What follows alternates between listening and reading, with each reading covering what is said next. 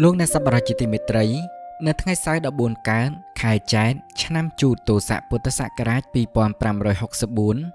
ត្រូវនៅថ្ងៃទី27ខែមីនាឆ្នាំ2021ពុទ្ធបរិស័ទជាច្រើនមានសទ្ធាជ្រះថ្លាក្នុងការបំពេញបុណ្យនិងថ្វាយបង្គំពុទ្ធស្ថាននានានៅក្នុងវត្តប្រាសាទស្រះកណ្ដាលខ្ចាស់ដែលបានអញ្ជើញមកពីគ្រប់មជ្ឈដ្ឋាននានាដែលឡែកនៅក្នុងថ្ងៃនេះរួមមានពុទ្ធបរិស័ទដែលអញ្ជើញមកពីខេត្តបន្ទាយមានជ័យ មានសទ្ធាជ្រះថ្លាបានចូលរួមត្រួតត្រងការសិក្សារៀនសូត្ររបស់សាមណសិស្សត្រួតត្រងចង្ហាន់ព្រះសង្ឃនិងត្រួតត្រងវិស័យកសាងនានានៅក្នុងវត្តសូមប្រកេននិងជម្រាបជូនថាសប្តាហ៍នេះក្រោមការដឹកនាំរបស់ព្រះធម្មាលង្ការមុនីច័ន្ទសុជុន